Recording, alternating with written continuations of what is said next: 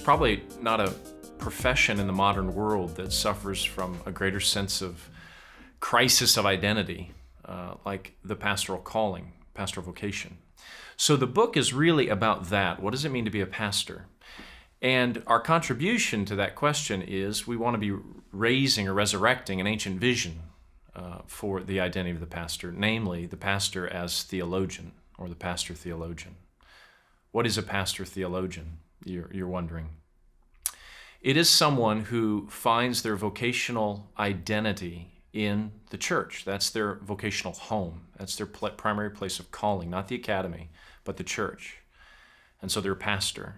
And yet, at the same time, it's a person who feels a deep, profound responsibility to not be merely a purveyor of theology, but a contributor to theology, an intellectual and theological leader for the life of the church, and so a pastor theologian.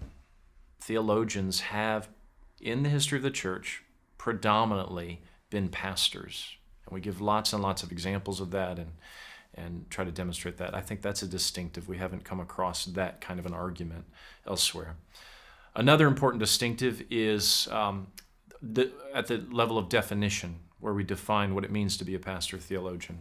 One of the things we do in the book is develop a taxonomy or a breakdown of different kinds of pastor theologians, and we refer to three different types a local theologian, a popular theologian, and an ecclesial theologian. That's a distinctive contribution, I think, of the book and will enrich the conversation about what it means to be a pastor theologian. We spend um, a, a lengthy chapter at the end of the book fleshing out how you might live out the calling of a pastor theologian in the life of a local church. And we try to walk through very practical, tactical things about working with an elder board or a leadership board and how to manage and organize your time and how to think about your reading uh, agenda and, and, and how you, you continue to educate yourself and um, if you don't have a grad or a terminal degree, a PhD, how to think about that and the way that might contribute to your development as a pastor.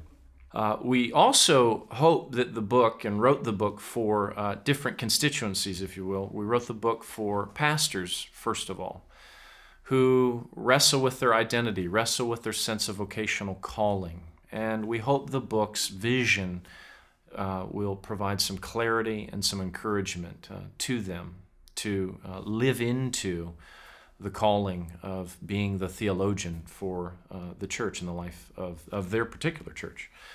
We wrote the book also for students.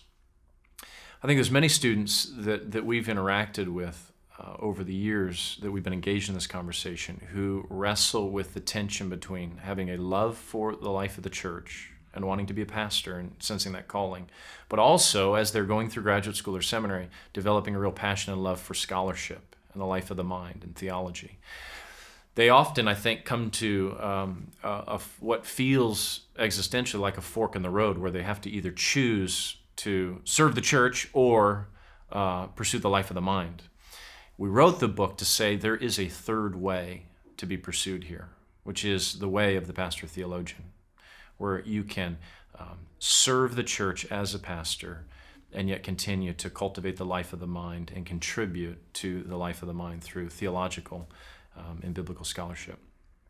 We also wrote the book for uh, the church, for congregants, to encourage their imagination, to, to put before them a picture of what a pastor can be and why this, this sort of calling and living out of the pastoral vocation uh, is, is a win win for everyone. Raises the theological water table in the life of the church, so to speak, enriches uh, the, the spiritual depth and vitality of the church. So we, we, um, we're ultimately interested in uh, the renewal of the local church.